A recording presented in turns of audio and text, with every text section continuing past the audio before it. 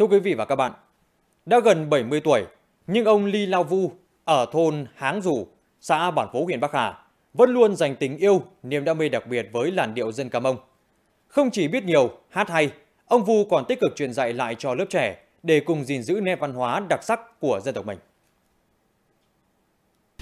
Tại hơ ta trò, vô chỉ đâu, vô chế tì, tại nhớ cùng. Ngay từ khi còn nhỏ, ông Ly La Vu đã được làm quen với các làn điệu dân ca mông qua lời bài hát của bà, của mẹ.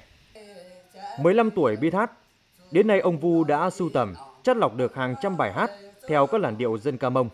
Theo ông, bên cạnh những bài dân ca có sẵn, thì người hát cũng tự ứng biến lời theo dòng cảm xúc để bộc lộ tâm trạng.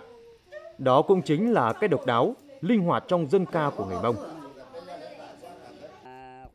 Dù trong cuộc sống sinh hoạt hàng ngày hay mang tính nghi lễ, thì các điệu hát dân ca dân tộc Mông đều được chúng tôi tự sáng tác, ứng đáp lời rồi dạy cho nhau. Hiện người Mông còn lưu giữ được nhiều thể loại dân ca như hát giao duyên, mừng năm mới, lễ hội, hát lên nhà mới, trong đám cưới, hát tiễn đưa.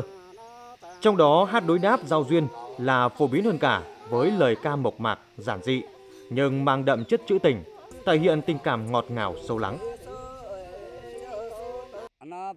Hát đối đáp giao duyên thì vui lắm. Cứ ngày lễ Tết, đám cưới, chúng tôi đôi bên ngồi hát với nhau. Chỉ một nội dung đưa ra thôi, nhưng chúng tôi có thể ngồi hát đối với nhau thâu đêm đến sáng. Khi đời sống phát triển, lớp trẻ ít bạn mà với làn điệu dân ca. Việc lưu giữ bảo tồn làn điệu dân ca của dân tộc luôn là nỗi chăn trở lớn trong ông Ly Lao Vu.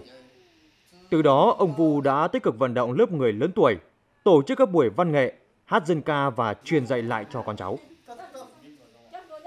Theo bác thì em biết rất là nhiều về các điệu dân ca. Khi mình đi lễ hội hoặc là khi hát giao duyên với mọi người thì mình cảm thấy nó tự hào. Chương trình à, văn hóa văn nghệ hàng năm thì các cái nghệ nhân này tham gia hết sức nhiệt tình đã khơi dậy được cái cái cái cái niềm đam mê và thu hút được cái cái, cái thế hệ trẻ bây giờ cũng đã có cái sự quan tâm để giữ gìn cái bản sắc à, văn hóa truyền thống của người đồng bào người Mông.